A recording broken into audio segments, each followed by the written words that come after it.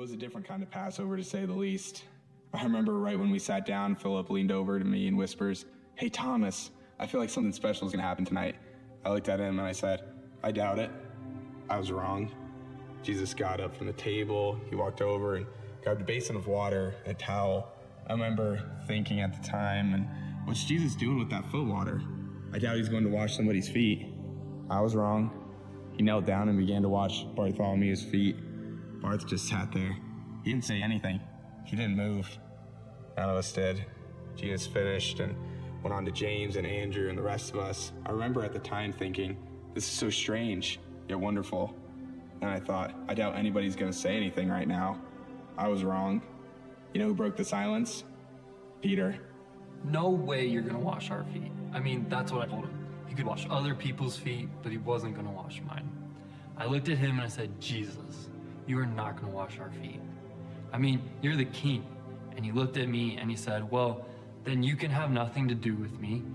And I'm like, Ouch, okay, wash my feet, wash my hands, wash my whole body if you have to.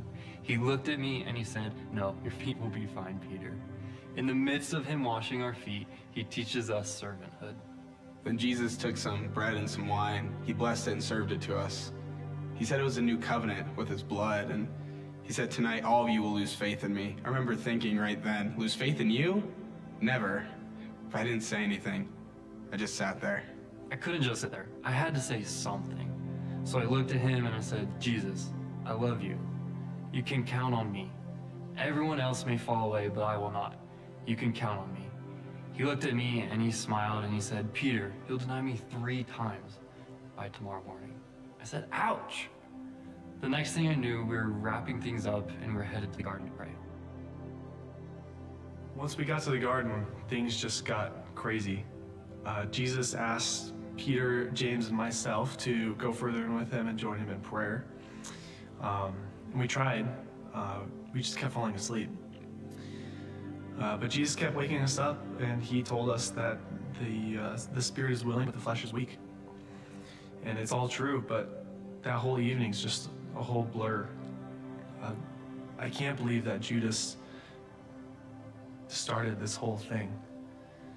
He couldn't have thought that what he was doing was right. There he is. He's the one you want. The one praying by himself. Now the others, they will come up and try to create some scene. But the one that I kiss on the cheek, that's the one you want. Now 30 pieces of silver, right? That's what we agreed upon. 30 pieces. Forget about the rest. The one that I kiss on the cheek, that's the one you want. A kiss? Judas betrays Jesus with a kiss of friendship? Then things just got crazy. Peter grabs a sword and he chops off this guy's ear. Uh, but Jesus reaches down and, and picks it up and puts it right back on his head. And it looked like nothing had happened. Then they, they took him, and uh, I would like to say that I did something, we did something, uh, but I didn't. And uh, we just ran. I ran. And, and I'm so ashamed. What have I done? What have I done? Was I so stupid to think that I've killed him? I've killed him. I crucified Jesus. I crucified Jesus. It's what the crowd wanted, and it's what they got. Personally, I don't feel like that man did anything to deserve that, but I was just a soldier doing my job. When the governor gave his sentence, that's when I would go to work. I loved that job. I felt like I was administering justice every time I nailed someone to a tree. That man, though, didn't deserve that. It just didn't make sense to me. It makes no sense. There was, rotting in a jail cell, stealing, murdering, you name it, I've done it. And I knew the next time I stepped foot outside the jail cell, well, that was it. So the guards, they came and got me and they put me beside this guy that was beaten to a pulp. Then Governor Pilate started asking the crowd, which one of these men do you want to be set free? I mean, it was obvious. I mean, the crowd, they're going to say, let Jesus go. And then I was going to tell them where they could go. And then the crowd, they started chanting Barabbas. I mean, they're saying my name. They're saying my name over and over and over again.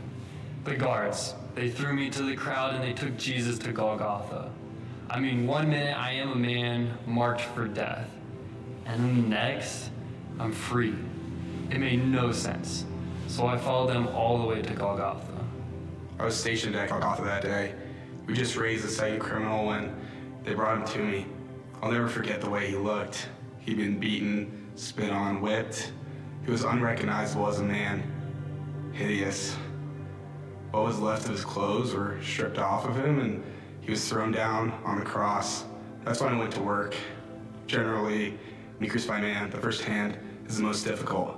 The criminal wants to get away, he fights you, so I'd have two soldiers hold him down. But this guy, he didn't put up a fight.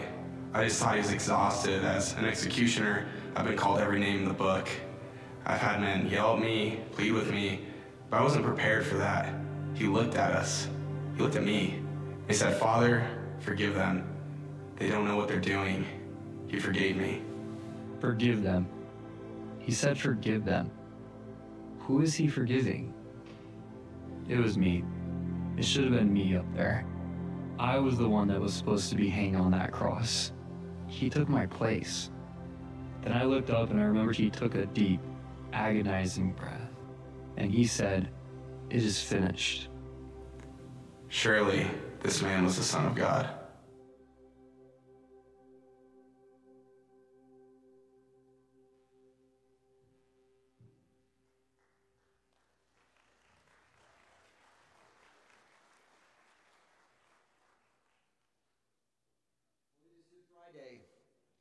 But Sunday's coming, and Sunday is Easter.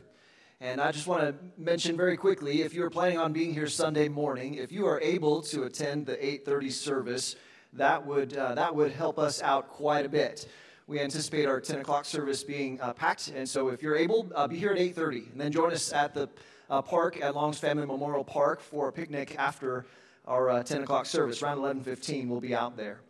Uh, today, we're going to conclude our series, His Final Teachings.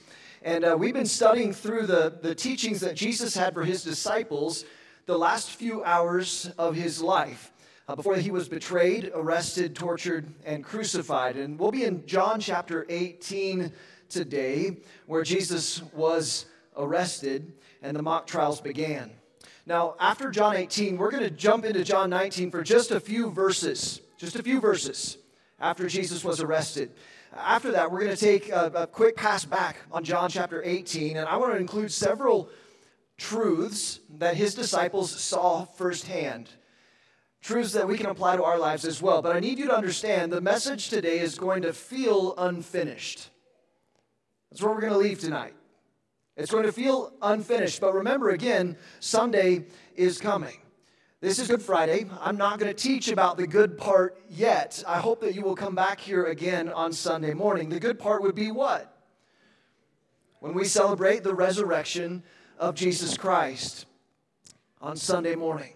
Now, I'll probably err a little bit and mention it a few times as we get through the text tonight, but I do want you to know it's going to be a little bit unfinished as Jesus heads for his crucifixion. Now, you're gathered here on Good Friday. I'm going to make some assumptions one of those being that you believe in Jesus, that you believe that he died, that you believe that he was buried, that you believe that he rose again on Sunday morning. Otherwise, I, I assume you wouldn't be here tonight. So I hope that you can track with me with that assumption today.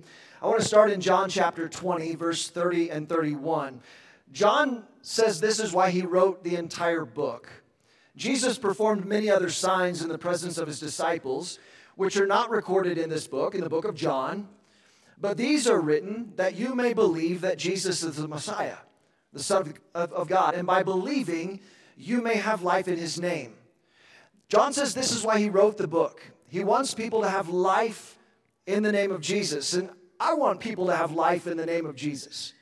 I hope that you want everyone to have life in the name of Jesus. I mean, if everyone knew Jesus, if everyone followed Jesus, the world would be a better place. And it's kind of a crazy place these days.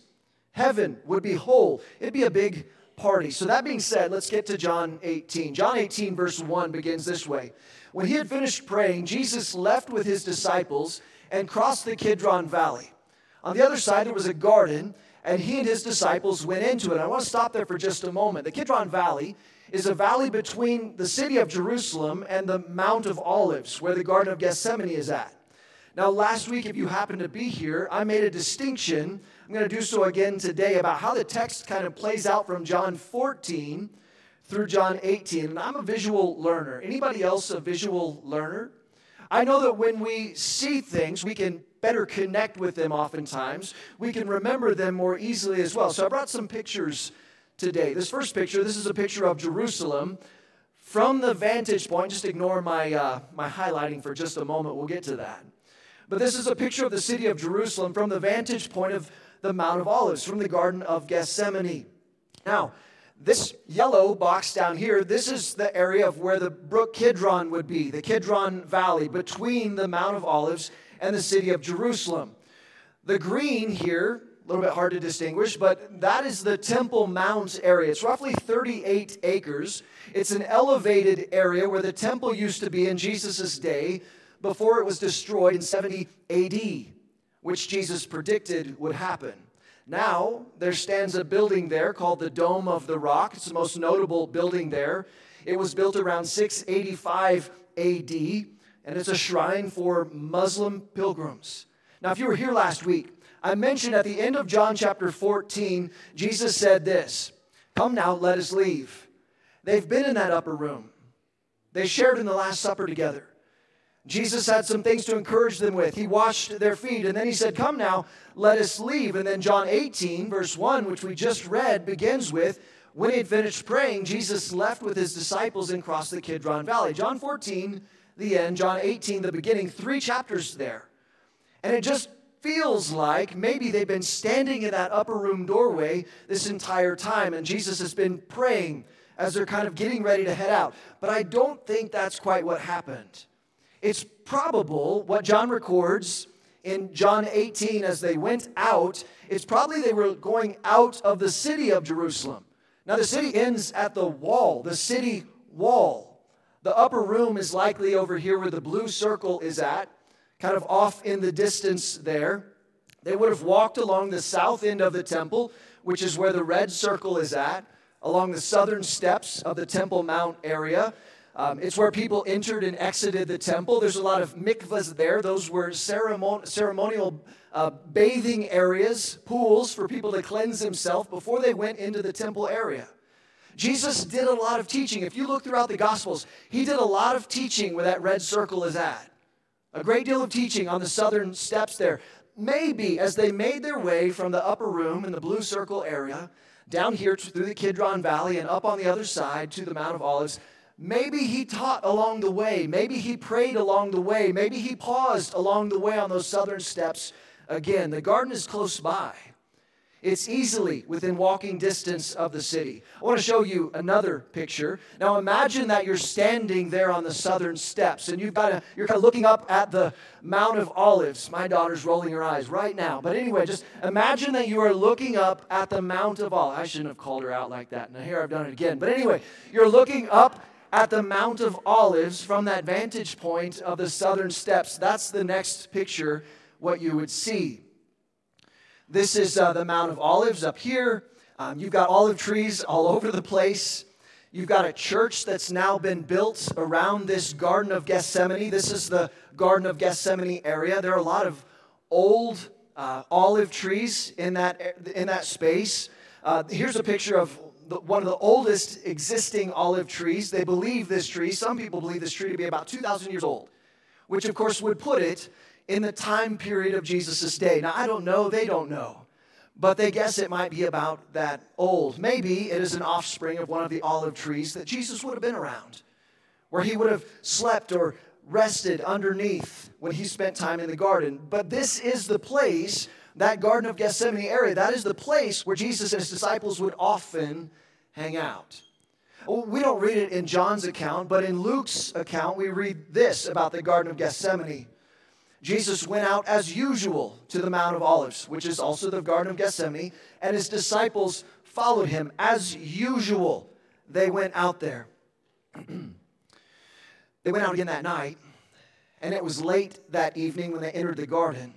Judas, the betrayer, he knew where they would be. He had been there with them before. Now, if we roll back a little bit in the Gospel of John to John chapter 13, it records that Jesus and his disciples, again, they'd been in that upper room, they'd had the Last Supper. Jesus had washed their feet, he'd instituted communion, which, by the way, we will share in communion at the end of this message before we sing one more final song. But at some point, Jesus said this Very truly, I tell you, one of you is going to betray me. While they were in the upper room gathered together, Jesus said, One of you is going to betray me. John asked Jesus this Lord, who is it? Which one of us is going to betray you? Now, the disciples are a little bit slow to catch up. And so Jesus says this to them, verse 26 It is the one to whom I will give this piece of bread when I've dipped it in the dish. Then, dipping the piece of bread, he gave it to Judas, the son of Simon Iscariot. Jesus takes a piece of bread dips it in a dish, gives it to Judas. The guys still didn't know who it was going to be, who was going to betray Jesus. John says, We just thought he was leaving to, you know, maybe go give something, something to uh, the poor. Maybe he was going to go get some things for the party. We didn't think anything of it. Verse 27 What you're about to do, do quickly, Jesus says to Judas. The disciples missed it, and then Judas was gone. And Judas missed out on the rest of his final teachings, of Jesus' final teachings. But you know what? It's okay because Judas didn't need it. Judas wasn't on Team Jesus. Now, that being said, back to John 18. John 18, verse 2. Now, Judas, who betrayed him, who betrayed Jesus, knew the place because Jesus had often met there with his disciples. Now, this is not the point of the message, but a quick sidetrack here because it's pretty obvious, and then we'll move on. No one can betray you like someone on the inside. No one can betray you like someone on the inside. That's what happened to Jesus here. Verse 3. So Judas came to the garden, guiding a detachment of soldiers and some officials from the chief priests and the Pharisees. They were carrying torches, lanterns, and weapons. Now, that word detachment there, detachment of soldiers, the original Greek word is the Greek word spira. So your Bible might translate it as cohort or maybe band. From the original language, what John writes down meant one tenth of a legion. A legion was 6,000 soldiers. We don't know how many, but many. A lot maybe, maybe up to 600 soldiers were along with Judas. The religious leaders didn't want to take any chances about missing out on this opportunity to arrest Jesus. Now, we have seen, if you've been along for the journey as we have made our way through the Gospel of John, we have seen the religious leaders try multiple times to take Jesus out, to arrest him, to stone him. They wanted to kill him, but he kind of slips away into the crowd every single time, and they didn't want to miss one more opportunity. They had someone on the inside, and so they send this overwhelming force along with Judas to the Garden of Gethsemane. They didn't know what would happen when they showed up. They didn't know, but that Jesus might have a, a group of his own followers or supporters there ready to fight and defend him. Verse 4 Jesus, knowing all that was going to happen to him, went out and asked them, Who is it you want. Again, you, you might remember the moments through our study in the book of John where they tried to arrest him. They tried to kill him, and he would just slip into the crowd. It wasn't yet his time, the Bible would tell us. John would record for us. It wasn't yet his time. But in this moment, the time has come. So Jesus approaches them. It says he went out, approaches them, and says to them, Who, who is it that you want? Verse 5 Jesus of Nazareth, they said. Now, we don't pick up on this today in our modern kind of American language and understanding, but that word right there was a slam. It was a dig. When they said Jesus of Nazareth, no one liked Nazareth back then. Now, maybe, maybe you remember this, maybe you don't, but back when Back when ISIS was taking large swaths of Iraq and Syria to set up their Islamic state, they would mark the homes of known Christians with this symbol. this symbol on the wall. And the symbol's not the circle, it's what's inside of the circle. But ISIS would then, they would mark the home, they would mark the wall, and then they would give an ultimatum. You can either convert to Islam, you can pay a tax to live as a non Muslim in Muslim territory, you can abandon your home and possessions with just the clothing on your back, or die. Those are your options. That symbol in Arabic is, is for the letter N They would put an N on the wall of the homes of people who were Christians. Why not a J for Jesus? Why not a C for Christian? They chose in for Nazarene, meaning the person who lives in this home follows Jesus of Nazareth. It was used as a pejorative, it was used as a slam, a dig, much like in the text when Jesus says, Who is it that you want? Who is it that you're looking for? And they said, Jesus of Nazareth. Let's keep going. I am he, Jesus responds. Now, maybe you have a footnote in your Bible. The footnote in my Bible actually uses the word I am or the phrase I am. And in the original language, Jesus said the Greek word I me, meaning I am. Our English translations, they read I am he to make sense for us with grammar, but Jesus said I am. Now, if you know your Old Testament history, you know what Jesus might have been saying there. He used the same name that God used to refer to himself when talking with Moses. Back in the Old Testament, in the book of Exodus, God had called Moses to go to Egypt to set his people free, to release them from the bondage from Egypt as slaves. Moses was hesitant at first, but at some point he says, Hey, okay, but show me some ID. I need to, I need to see some ID, God. Like, when they ask who it is that has sent me to them, who, who, what am I supposed to say? And God says to Moses, Tell them, I am has sent you to me. I am, meaning I have always been, I always will be, I exist without beginning or end, I am. That is the name that God used for himself. And I would argue there's a 100% chance Jesus knew exactly what he was doing.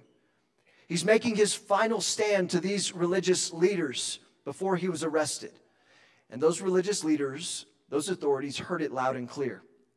Later on, in John 19, when Jesus was on trial before Pilate, the religious leaders, they were making their case that Jesus must die. John 19, verse 7, the Jewish leaders insisted, We have a law. And according to that law, he, Jesus, must die because he claimed to be the Son of God. They said he's made himself equal with God. He's claiming to be the Son of God. Jesus used the phrase, I me, I am, to make that point again about who he really is. Now, John, uh, he kind of adds this detail there that Judas the traitor was standing there with them. Judas was on the wrong team.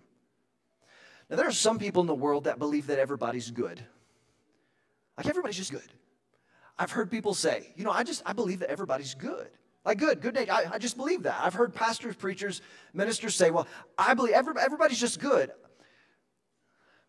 I'm going to go on record today and say, everybody is bad. We, we all have a bent towards sin. Everybody is bad. Every one of us has that sinful nature in us. If you don't believe that to be true, you have never been around toddlers you, um, you have to teach a toddler good. You have to teach a toddler not to punch their sibling in the face. You have to teach a toddler not to take from their friend or their, their sibling. You, you have to teach those things. Every single one of us has a bent toward sin. Every single one of us are bad. Now, that being said, some people in this world are really bad. Now, I have heard it said in recent years, and uh, I hope uh, you know that when someone is really mad, that they are big mad.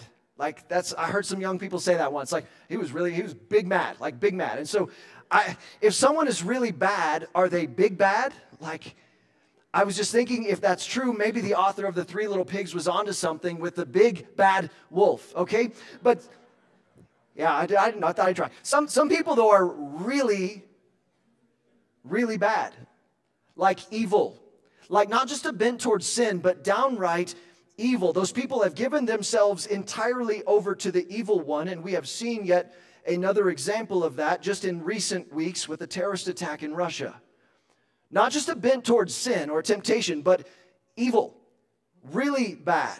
Judas was at that point after spending the better part of three, three and a half years following after Jesus and watching him and observing him and being cared for by him and, and listening to him teach and seeing how he treated those other, other, other people around him and watching him do miracles. In this moment, Judas's heart is cold.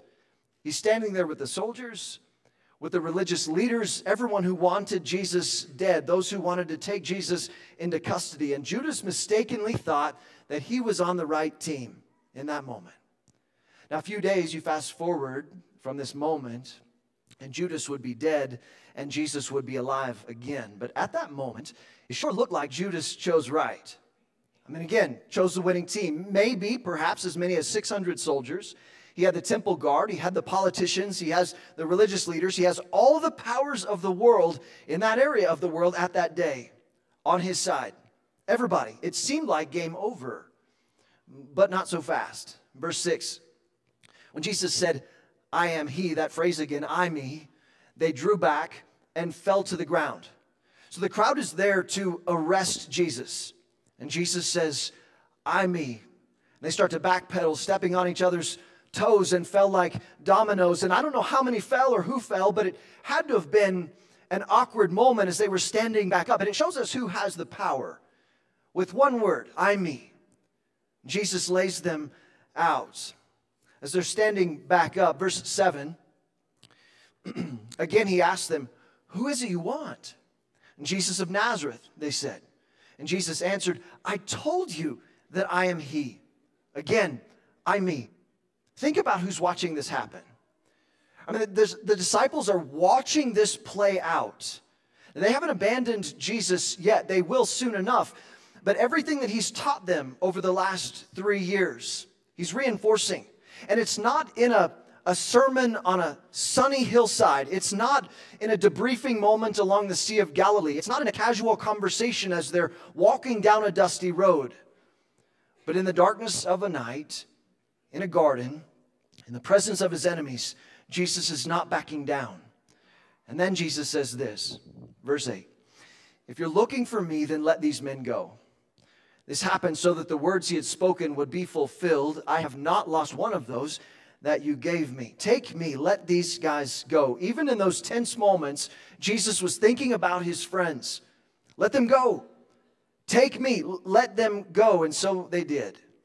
They took Jesus the first stop was the home of Annas, the father in law of the high priest that year. Obviously, there's some power dynamics at play if he goes to the father in law's house first. Next, they went to the home of Caiaphas, the high priest that year. Then to Pilate. Pilate sends Jesus to King Herod. King Herod sends him back to Pilate. This went on throughout this long, horrific night. Finally, when he's back to Pilate again, Pilate realized he couldn't wriggle out of this. I mean, maybe I'm giving Pilate the benefit of the doubt, but I'm guessing he was just worn down from all this mess and finally just handed Jesus over to the soldiers to be crucified. Now, before we before we go to the crucifixion, I want to fly over this text one more time and step back into the Garden of Gethsemane for a few of these lessons from Jesus' arrest. The disciples saw this up close. I'm hoping that we can picture this this evening and learn a thing or two from his arrest as well and appreciate him and love Jesus even more. First of all, Jesus is beyond brave. Jesus is beyond brave. There are, there are critics of Jesus who would try to paint Jesus as some wimpy, effeminate, aimless hippie dude who wandered the hillside picking flowers and preaching about love all the time. There are people who would paint Jesus that way. If anyone thinks that Jesus might be weak and timid, know this Jesus is beyond brave. The disciples personally saw this play out. Verse 4 again Jesus, knowing all that was going to happen to him, he went out to the mob. He went out to the crowd and he asked them, Who is it that you're looking for? Knowing that they would put a towel over his head and they would punch him in the face and mock him and say, Hey, if you're a prophet, tell us who hit you knowing that he would be beaten and knowing that he would be whipped with a cat of nine tails.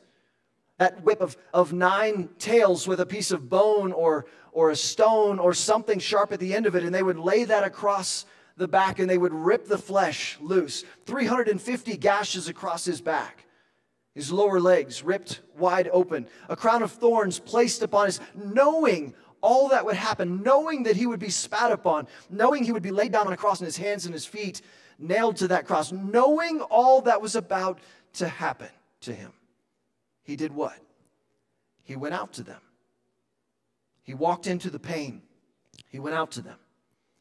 Now, I have come to a point in my life where I'm actually thankful that I don't always know what's coming. I'm actually thankful that I don't always know what's going to happen next. I mean, there are times, there are moments in my life that if I had known what was going to happen in my life, I probably would have exited and ran for the hills. There are things that are happening. I just, I don't, I don't, I'm grateful I didn't know it was going to happen. But God has given us, in His grace and mercy, not telling us everything that's going to happen, but, but the opportunity to live this out in 24 hour, kind of bite sized daily chunks. That's how we get to do life. I've had a few things happen that have been difficult, and I'm glad I didn't know it was going to happen. I've had a few medical things happen, some by my choice, some by accident, but it, you know, some, some, things have happened, and the doctor comes in. He's like, "Hey, so this is what we're to do." Uh, nurse comes in, "Hey, this is what we're to do," and I'm thinking, uh, "Just stop. Hold on. Are you trying to help me or uh, or not?" No, we're trying to help you. Okay, then I don't really need to know what you're to do. Uh, just put me under, take care of it, and I'll see you on the other side. Uh, maybe a few of you can relate, but there are moments where I don't really know what's going to happen. I don't want to know what's going to happen because I don't know if I would have gone out. I don't know if I would have stepped forward in that moment and Jesus went out, knowing all that was about to happen to him. He went out to them. Now, John doesn't record Jesus' prayers from the Garden of Gethsemane.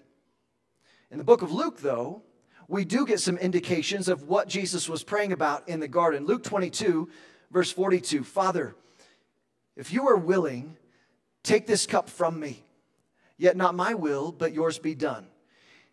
Father, if there is any other way, please, but not my will, but yours be done.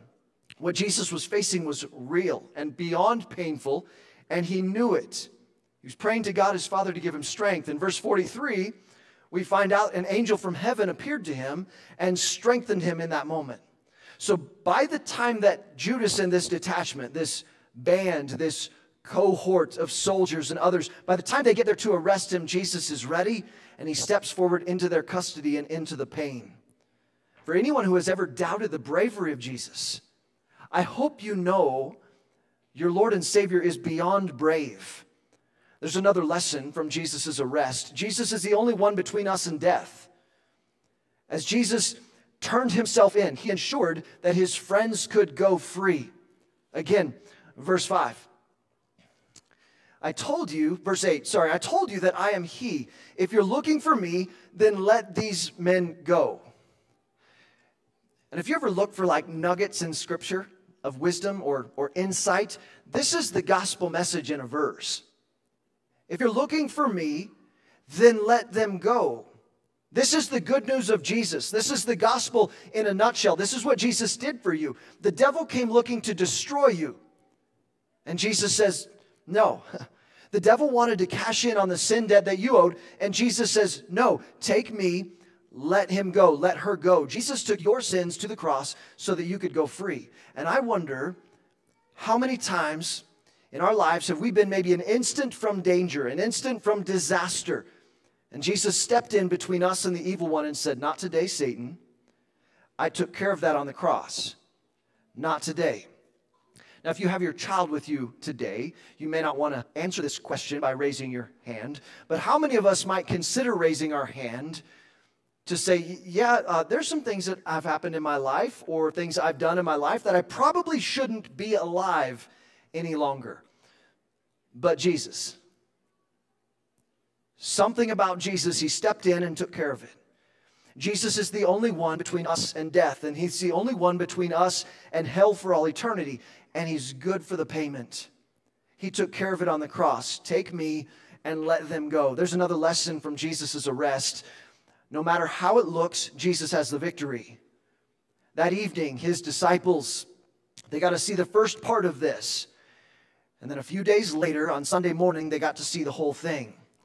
Judas has done this head count, right? And he's decided which team he's going to go with. He has the most people, the most power. He chose the government, the politicians, the religious leaders, maybe 600 soldiers. And on the other side is Team Jesus. Jesus and a few groggy fishermen who couldn't stay awake for an hour while he prayed. And Jesus steps forward, he goes out to them, and he says, I got this. One of his disciples, Simon Peter, thought that he could help. Verse 10 Then Simon Peter, who had a sword, drew it and struck the high priest's servant, cutting off his right ear. The servant's name was Malchus. Now, there's several details here in John, but over in Matthew's account, we read a few more details. Matthew 26. Put your sword back in its place, Jesus said to him. For all who draw the sword will die by the sword. Do you think I cannot call on my Father, and he will at once put at my disposal more than 12 legions of angels? Now, Jesus could have made that call, but he didn't. He didn't call 12,000 angels to help him, to aid him, because he needed to go to the cross for you and for me. Now, I don't know if you've ever watched too much TV or uh, maybe you know found a few things on the Google that would tell you that life is just a mess right now. And you know what? Uh, I just don't know if uh, I just don't know if us Christians are going to make it. Uh, you know, maybe you've read some things or seen some things that have got you with a little bit of doubt. Christians are outnumbered. I think we might lose this. We're not the home team anymore. We're definitely the visiting team or the losing team, may, maybe. If you've ever thought that, know this Jesus has already won the victory. He is the Almighty, all powerful, great I am, the Lion of Judah. He has already won the victory. And if Jesus is all you've got, then, then friend, you have all that you need. With Jesus, you always are in the majority. He gave himself up in the garden, ready to go to the cross so that you can experience heaven one day. There's another lesson from Jesus' arrest. Jesus corrects our mistakes along the way. He corrects our mistakes along the way. Again, Peter cut this guy's ear off. You know, Peter was going to be a church leader. He would be a church leader later on. And so you know, in case you're misinformed, he didn't try to cut the guy's ear off. He tried to cut the guy's head off, and he missed and got his ear. It's not like he said, Hey, come here, let me cut off your ear. No. He was trying and he missed. And Jesus had to have been thinking, Brother, brother, oh, Peter, come here, Malchus. Boop, you know, takes care of it. And Malchus is like, Hey, I'm going to press charges. We're cool, Peter. Fine. Thanks, Jesus. You know, gets him out of a jam. How many times has Jesus put ears back on people for you? You've said some things and done some things. You've gotten yourself in trouble, and Jesus is coming along after you, fixing problems and mending relationships so that we can continue to live our lives and hopefully live for Him. How many times? John 19, we have to go there two and a half verses. So the soldiers took charge of Jesus. Carrying his own cross, he went out to the place of the skull, which in Aramaic is called Golgotha. And there they crucified him. And with him, two others, one on each side, and Jesus in the middle. And that's it. I told you this message was going to feel just a little bit incomplete today. But you know this because you're here on Good Friday. And I know this that this is not the end of the story. You cannot keep a good man down, and Jesus is so much more than a good man. He is God in the flesh. His enemies didn't believe it. His friends betrayed him, denied him, abandoned him. The demons of hell thought they had a victory. Get ready because Sunday's coming. Now, I hope you uh, were able to get communion on your way in today. I want you to get that ready. If you'll turn it upside down and open that up. We'll get to that in just a moment. I hope that you will join us again on Sunday when we celebrate the resurrection of the one who is beyond brave, the one who is between us and death. He takes our punishment for us, the one who has the final victory, the one who corrects our mistakes along the way. Because of them, we can, him, we can have victory in this life and we can experience heaven one day with God our Father. Now, a few hours before this, as they were in the upper room, while they were eating, Jesus took bread, and when he had given thanks, he broke it and gave it to his disciples, saying, Take and eat. This is my body. Let's eat the bread.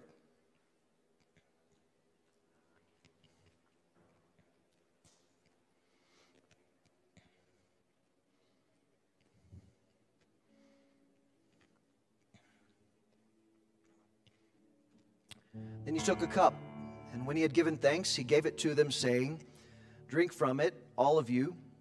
This is my blood of the covenant, which is poured out for many for the forgiveness of sins. Let's drink the cup.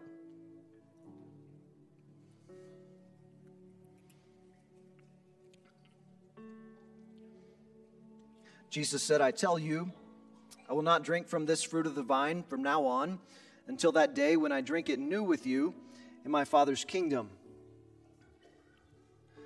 One day, we will join together around the table of the Lamb. We will enjoy a meal together with Jesus in our presence, and God the Father there as well. Let me pray for us, and then we're going to sing one final song on this Good, Good Friday. God, thank you for the day. Thank you for your love for us. You sent your son Jesus here to die on a cross in our place. We are grateful. Father, help us to live in a way that honors you and lifts up the name of Jesus. That anyone who interacts with us would notice a difference. Father, help us to be on mission, that we would help people find and follow Jesus with their lives. That anyone and everyone who is searching for truth would find it. We love and praise you. We pray these things in the powerful name of Jesus. Amen.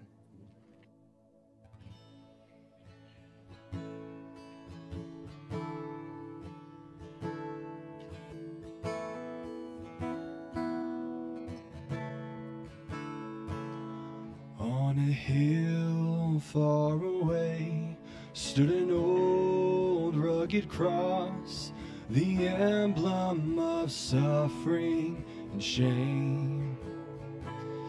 And I love that old cross where the deer stand best for a world of lost sinners was slain. So I'll cherish the old rugged cross till my trophies at last I lay down. I will cling to the old rugged cross and exchange it someday for a crown.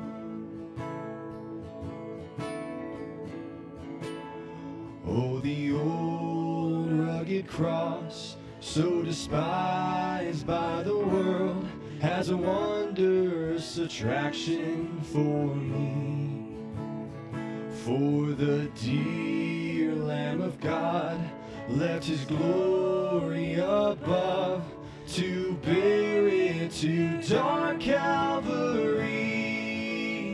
So I'll cherish the old rugged cross till my trophies at last I lay down.